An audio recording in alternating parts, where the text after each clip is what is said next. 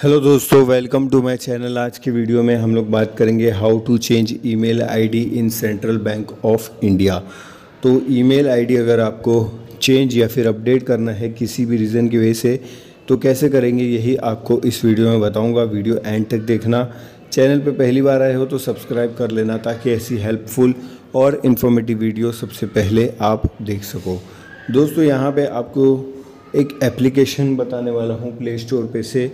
वो एप्लीकेशन आपको इंस्टॉल कर लेना है क्योंकि ईमेल आईडी आप चेंज करेंगे और आपको उसी ऐप के थ्रू मैं चेंज करके बताने वाला हूँ। तो आइए प्ले स्टोर को ओपन कर लेते हैं। ओपन करने के बाद यहाँ पे आपको सर्च बार में आना है। एप्लीकेशन का नाम टाइप करना है गिस फिक्सर ये एप्लीकेशन का नाम मैंने ऑलरेडी डिस्क्रिप्शन बॉक्स में भी दिया हुआ है। वहाँ से भी नाम देख के आप यहाँ पे इंस्टॉल कर सकते हैं। एप्लीकेशन आपके सामने दिख रहा होगा बिल्कुल। वहाँ पे इंस्टॉल का ऑप्शन दिखेगा तो इंस्टॉल कर लेना है। इंस्टॉल करने के बाद आपको यहाँ पे ओपन का ऑप्शन दिखेगा तो अब आपको एप्लीकेशन को ओपन कर लेना है। जैसे ही आप एप्लीकेशन ओपन करेंगे तो एप्लीकेशन ओपन होने में पाँच सेकेंड लगेगा। यहाँ पे देख सकते हैं। उसके बाद आपको अपनी स्क्रीन पे ऐसा इंटरफेस देखने मिलता है। ऊपर कॉर्नर में आपको थ्री लाइन दिखेगी, उस पर आपको क्लिक करना है, उसके बाद सेकेंड ऑप्शन है ऐप्स का, उस पर क्लिक करेंगे। यहाँ पे बहुत सारे ऐप्स आपको देखने मिलेंगे, जिसमें से मेल फॉर्मेटर पहला ऐप है, वो उसी पे आपको क्लिक करना है।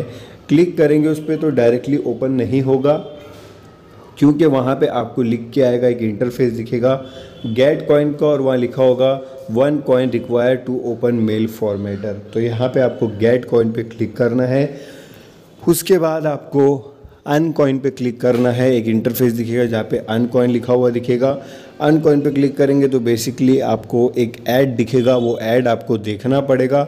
ऐड देखने के बाद आपको एक कॉइन मिल जाता है एज अ रिवार्ड तो यहाँ पे आपको फिर से बैक आना है कॉइन मिलने के बाद और फिर आपको मेल फॉर्मेटर पे क्लिक करना है। तो इतना आपको समझ में आ गया है।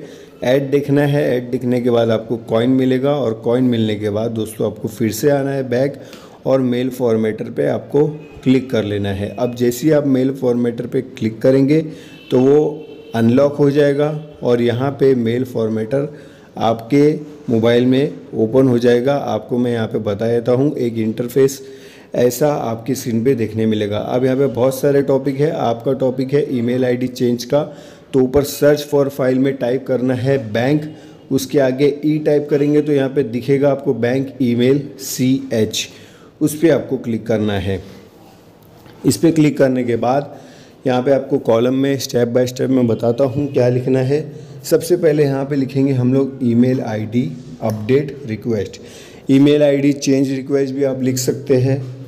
फिर आपको सेकेंड कॉलम में रिसीवर्स नेम लिखना है, यहाँ पे आपको अपने बैंक का नाम मेंशन करना है, उसके आगे कस्टमर केयर लिख देंगे। उसके बाद थर्ड कॉलम है नेम का तो आपको अपना पूरा नाम लिख देना है, जो भी आपका नाम है। मैं आपको सिर्फ़ डेमो बता रहा हूँ, इसके लिए मैं डेमो लिखूँगा। उसके बाद आपको ऐड के बटन पे क्लिक करना है, एक कॉलम ऐड हो जाएगा। यहाँ पे आपको मोबाइल नंबर अपना मेंशन करना है, जो भी आपका मोबाइल नंबर है। फिर से ऐड के बटन पे क्लिक करेंगे। यहाँ पे आपको न्यू ईमेल आईडी डालना है, जो आप चेंज करना चाहते हैं और अपडेट करना चाहते हैं।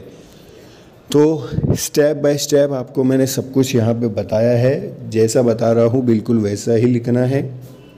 सब कुछ लिखने के बाद ऐड के नीचे एक बटन दिखेगा सेंड ईमेल का। सेंड ईमेल के बटन पे आपको क्लिक करना है। जैसे आप उस पर क्लिक करेंगे तो मेल फॉर्मेटर का काम यहाँ पे आपको एक प्रोफेशनल तरीके से ईमेल लिख के दे देगा। ईमेल आईडी चेंज करने के रिगार्डिंग आपको यहाँ पे कुछ भी लिखना नहीं है। पूरा ईमेल आपको आगे मैं बता दूँगा। रेडीमेड आपको लिख के मिल जाएगा। मेल फॉर्मेटर आपको लिख के दे देगा। तो आइए सेंड ईमेल के बटन पे आप क्लिक करते हैं। आप डायरेक्टली जीमेल पे पहुँच जाओगे। यहाँ पे आप देख सकते हैं अपनी स्क्रीन पे पूरा ई मेल यहाँ पर रेडी है। एक बार ई मेल आपको पढ़ के बताना चाहता हूँ। यहाँ पे लिखा है I am writing to request a change of email address for my bank account my current email address is mentioned above I would like to change it to new email address as mentioned above please change my email I D as soon as possible I would like to receive all future banking communication at my new email address thanks and warm regards तो दोस्तों, यहाँ पे आपको मैंने start to and जैसा बताया है, वैसा ही फॉलो कीजिए। उसके बाद आपको अपने बैंक की ईमेल आईडी डालना है और उसके बाद आप ईमेल सेंड कर सकते हैं। सेंड करने के कुछ देर के बाद आपको रिप्लाई भी आ जाएगा कि आपकी रिक्वेस्ट एक्सेप्ट हो चुकी है और 24 फोर आवर्स के अंदर आपका ईमेल आईडी यहाँ पे अपडेट हो जाएगा चेंज हो जाएगा। उम्मीद करता हूँ आपको समझ में आ गया है। गिस फिक्सर एप्लीकेशन फटाफट इंस्टॉल करके आप मेल मेल फॉर्मेटर पे जाइए। और अपना ईमेल आईडी यहाँ पे चेंज कर लीजिए। वीडियो अच्छी लगी तो लाइक करना, कमेंट बॉक्स में कमेंट करके ज़रूर बताना अगर आपको कुछ भी कन्फ्यूज़न लगता है या फिर अगर समझ में नहीं आता है तो। और चैनल सब्सक्राइब कर देना दोस्तों। Okay bye